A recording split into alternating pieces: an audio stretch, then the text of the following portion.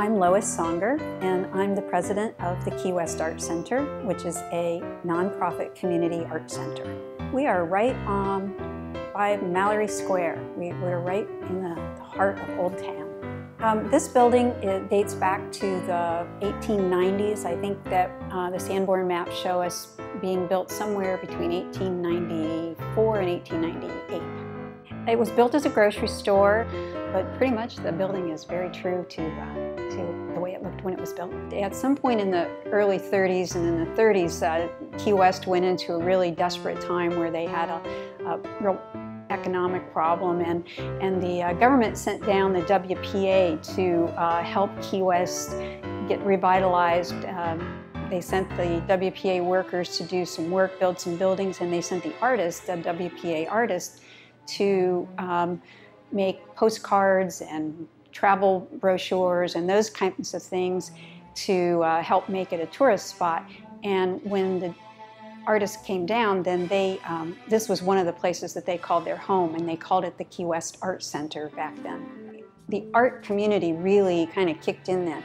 The WPA artists were sent by the government. Some of them uh, said, you know, they came and they did their stint here, and then many of them never left. So a lot of the people that the arts movements in Key West really kind of started there. You know, that's kind of where we started growing into an arts community. One of the original WPA artists in uh, the late 50s had stayed here, she had a group of artists and they were looking for a place to have a community art center. And the city gave them a very favorable lease, and that was in 1960. They actually signed the lease for this building, and the uh, art center was born, and it's been here ever since.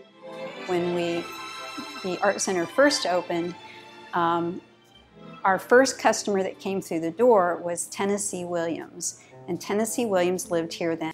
And um, he bought a painting of his house that one of the artists had done. So that was our first sale.